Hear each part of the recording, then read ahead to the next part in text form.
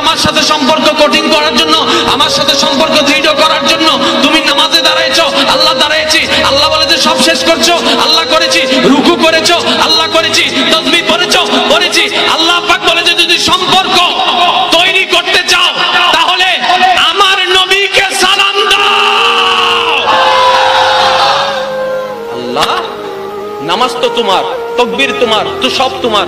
এখানে থার্ড পার্সনকে ঢুকাচ্ছ কেন? এটা তো বান্দা এবং আল্লাহর মাঝখানের জিনিস। তুমি নবীকে ঢুকাচ্ছ কেন? আল্লাহ বলে যে, যেখানে আমার নবী নাই, সেই জিনিস আমি নিই না।